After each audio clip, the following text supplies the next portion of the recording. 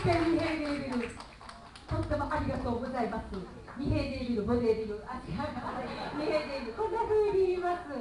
今日はまた暑さも吹き飛ぶぐらい盛り上がりましたね。沖縄行ったみたいになってます。ねこれ沖縄なのに喋ってますありがとうございましたさあ今日は大谷直美とそれから南直樹で2人で夏をお届けさせていただきましたありがとうございました。